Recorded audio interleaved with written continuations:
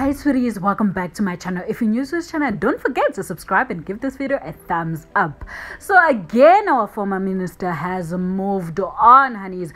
He seems to have found love all over again. If you guys don't know the full story, basically Mr. Gigaba cheated on his wife, or must I say, former wife. For me, you can think, but never ever touch my family, especially my husband, never because it's my responsibility to make sure that my family is protected. It's my responsibility to make my family it's happy. So Okay. Again, Sanoma decided to deal with it the American way, which later on led her to jail and divorced. If you want the full story of what happened, I'll just leave all the links below related to the story. Now let's talk about why you're here.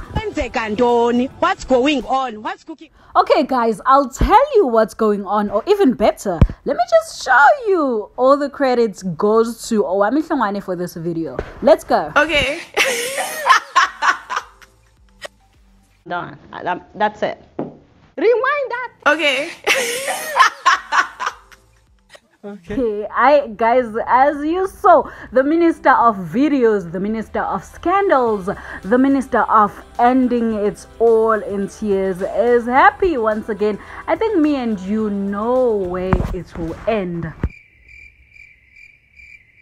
Yep. Anyway, thank you so much for watching. If you're new to this channel, don't forget to subscribe and give this video a thumbs up. I will see you next time.